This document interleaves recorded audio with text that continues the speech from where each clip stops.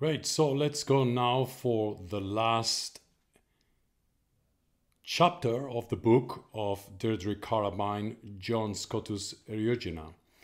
And we're going to talk now about the return.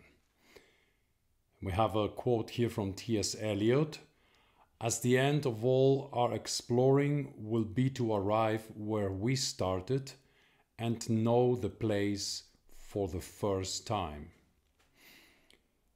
The resolution of diversity. Uh, the reditus, meaning the return, are the means whereby creation will be transformed into God. It signals the end of all division and opposition in the universe. The process of unity is the final great adventure of Natura, all things transposed from finitude to infinity, so that God shall be all in all. Division operates in two levels epistemological and ontological. Every division can be restored to unity. Every outpouring is reciprocated by a converse movement. Very important. God became human so that human might become God. Wow. Effect the return of the whole of Natura. Okay, so let's go to number two. There we go. Getting faster with this thing. Okay, so uh, the journey back um, to the uncreated uncreating. Yeah, this is the first division of Natura. This it relates exclusively to God. He takes uh, he takes from other philosophers of early Christianity like Augustine, Epiph- Epiphanius, Ambrose, Gregory Nazi- Nazian, Gregory Nazianzus. Okay, Gregory of Nyssa. I knew Gregory of Nyssa. We have him here, and Maximus the Confessor and the Pseudo Dionysius. Perhaps the most important will be the Pseudo Dionysius in terms of the influence that uh, these philosophers had on Eriugena. Uh, but however, Eriugena has his own views, and the subject of the Reditus is not clear cut and well ordered. It's uh, very rich in scriptural text and their exegesis, allegorical and metaphorical expressions used in the Periphyseon 5, so eschatological questions. So we are going to confront here the whole theme of how actually whatever we are hearing of in Genesis takes form in uh, eschatology, in uh, analysis of revelation of the last book of the Bible. So the first and the last book of the Bible will be very much connected for Eriugena. We'll be talking about the same thing to the point that only at the end is where Genesis is actually uh, making sense of. Yeah, Eriugena does not take uh, Genesis uh, as a historical, real event, but as an allegorical explaining more where Natura goes more than what its origin is, although of course will relate to the to that end being in the origin.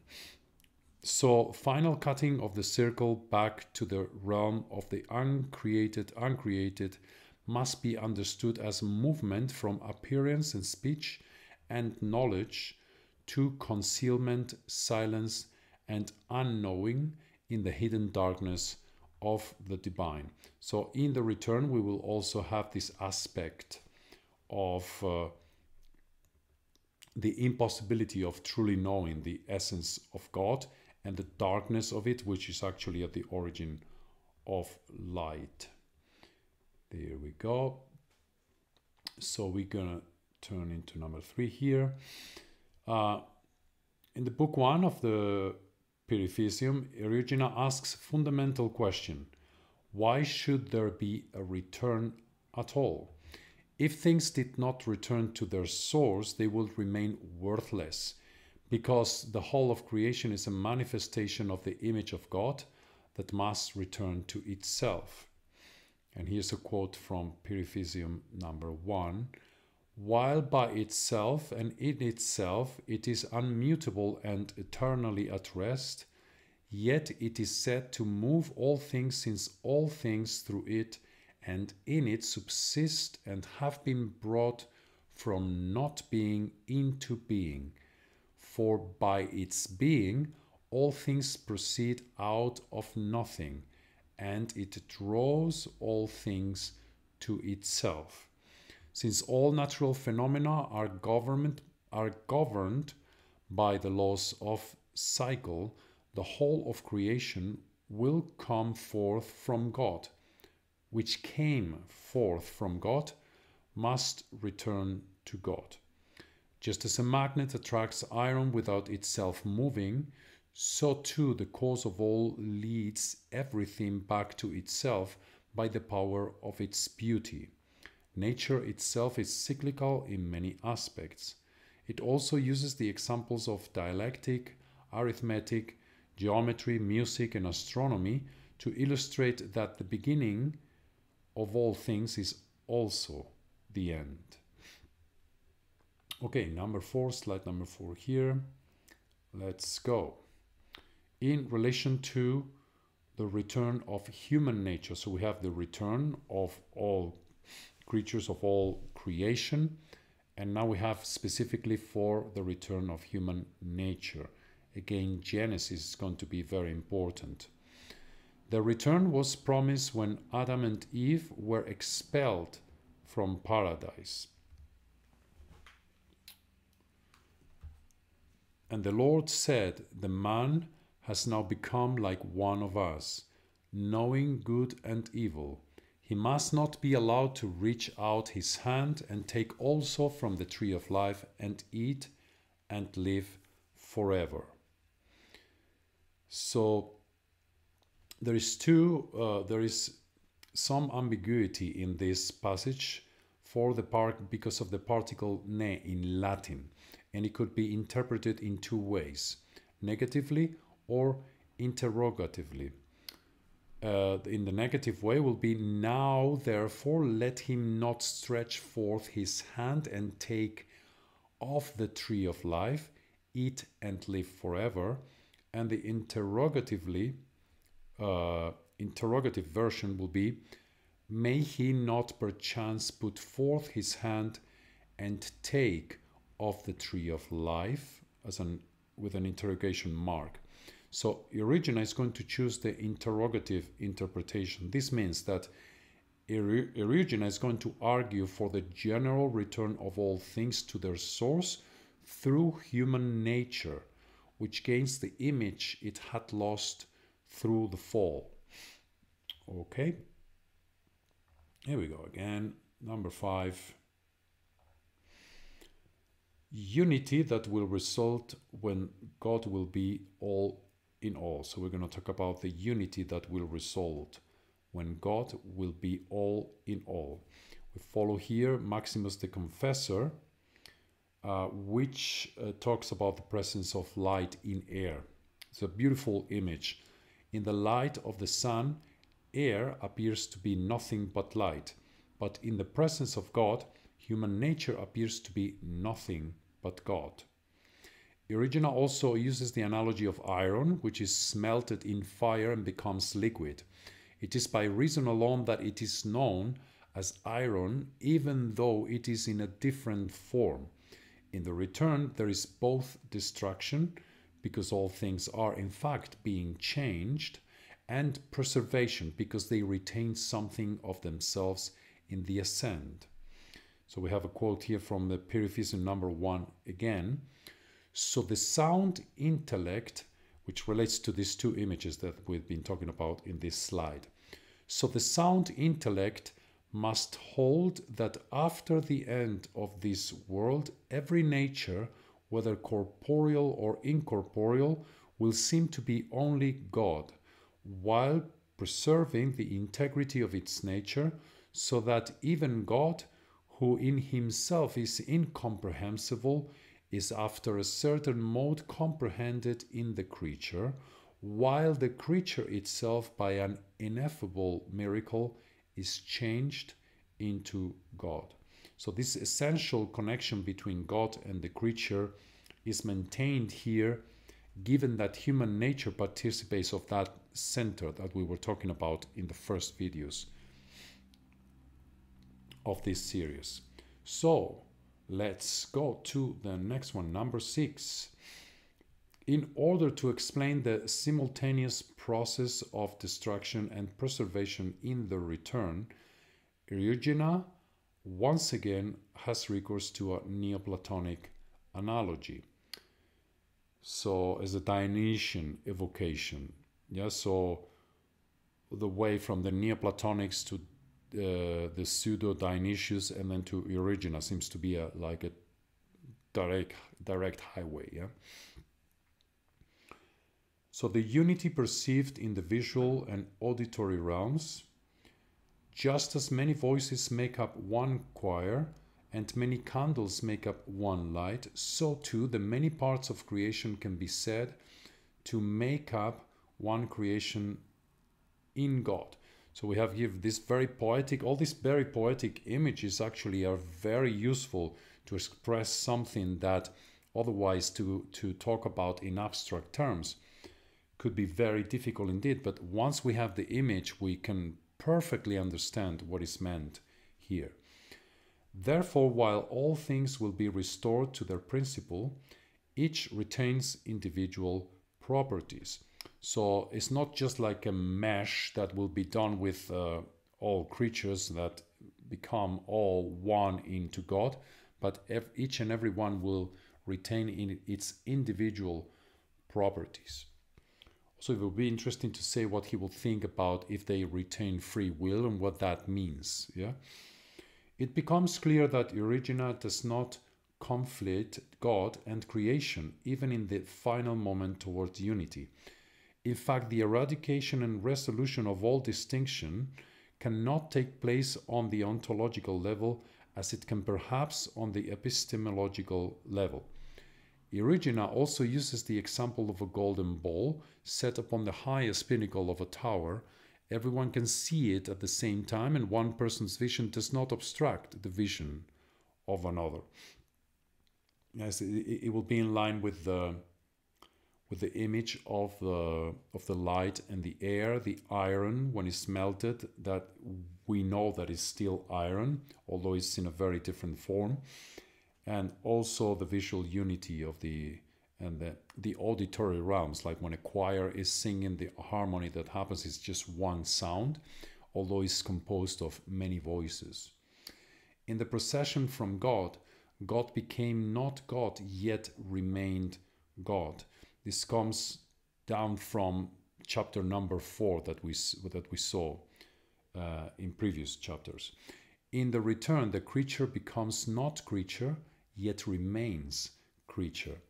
God can be seen in the creature, and the creature, which is no longer called by the name of creature, can be seen in God.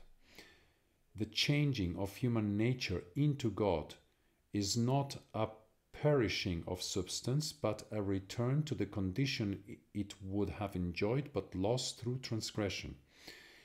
Eriugena held the view that individual substances do not perish in resolution because in the first instance they were gift given and covered with grace and also remember that in genesis that creation the creation of man the creation of woman is something that happens instantly and the fall also happens instantly. So that distinction of human nature being born in the world, which is partly part of the fall but partly not, yeah, it doesn't really manifest as such and it will never lose its essence until the uh, it, it will never lose its essence in the resolution and it will be not it will be not resolved as such until the resolution of the coming back into God of all nature. So then we preserve the meaning of creation as the image and manifestation of God, which is very important, of course.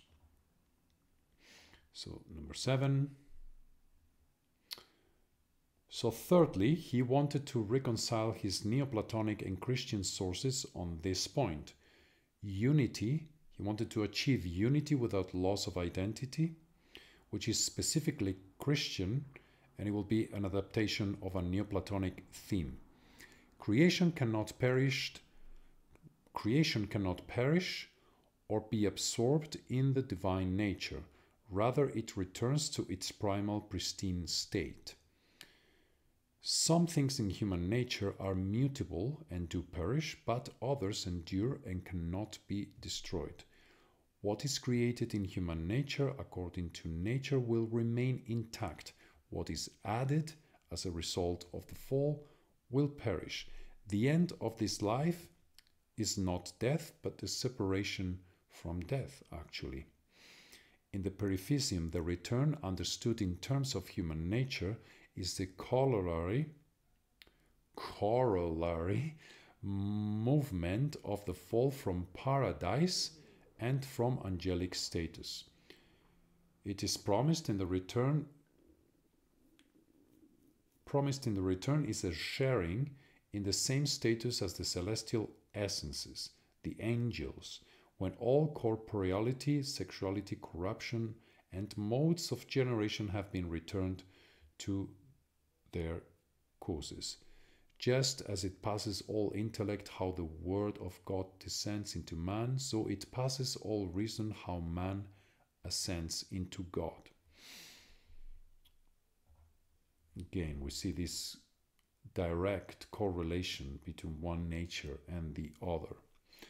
So the pivotal the pivotal point in Eriugena's understanding of return is the incarnation of the Word. The Word descended in order to redeem the effects of those causes that are present in the Word and that are called back to the Word. It's the conception of the unification of all things and is broadly Christological. Broadly Christological. So, some quotes from Periphyseon number five The common end of the whole creation is the Word of God. It was to bring human nature back that the incarnate Word of God descended, taking it upon himself after it had fallen, in order that he might recall it to its former state, healing the wounds of transgressions, sweeping away the shadows of false fantasies. The transformation of human nature into God is effected through the Word, who, in assuming human nature, raised it up. In assuming human nature, the Word assumed every creature made in that nature. Therefore, all creation will be called back to its source through the Word. So let's remember the connection that exists between the Word and God itself and human nature itself. Okay, let's move to the next one. Let us fix this just a little bit. Next one is number 8b. 8b. Let it, that's just, okay, here we go. So another quote, um, not only did the word, not only did the word exalt and bring back the humanity which he had received and refashioned in himself to a parity with the angelic nature, but also exalted it above all angels and heavenly powers, above all things that are and all things that are not. All sensible things will return through human nature into their causes in which they exist substantially. I want to call to the attention again of how intrinsic it is for Eriugena, creation it, itself, and human nature and the place that humans play in it. All things were created in human nature. They cannot return except with it. And we have here when man is recalled into the original grace of his nature, which he abandoned by transgression, he will gather again to himself every sensible creature below him through the wonderful might exercised by the divine power in restoring man. Eriugena's account of the role of the incarnation of the Word as the starting point of the return is instrumental in that it signals the redemption of the fallen. Human nature becomes the locus for the restoration of all created nature. Very good. Let's go to the last one now. have here so we're reminded of the Plotinian description of the one calling all things back to itself through love. The ascent is described by Eriugena as the movement of love. Because God is lovable, God's beauty draws all things upward back to their source. He is the cause of all love and is diffused through all things and gathers all things together into one and involves them in himself in an ineffable return, and brings to an end in himself the motions of love of the whole creature. The language reminiscent of the Neoplatonists, for the most part, his discussion is concealed. Let me see. This, this, this is not making much sense. So the language reminiscent of the Neoplat so the, lang- the language that he's using, using is reminiscent of the Neoplatonists. For, uh, for the most part, his discussion is concealed with the more technical aspects and details of the eschatological events. So we're going to see through all, all these philosophers, it's all about how much of the Greeks and how much from the Bible is taken and the dialogue between the two. Yeah. And we will have on one extreme, the literal, the taking the Bible literally and sort of ignoring more allegorical and Neoplatonic interpretations. Uh, and then we have uh, people who are going to say that uh, actually Christianity comes from the Greeks almost directly. Okay, so we, hopefully we're going to be able to explore this fascinating world. The whole process of division, which had reached its completion with the creation of human beings, the crown and perfection of the six days' work of creation, is the location for the start of the return through the Word.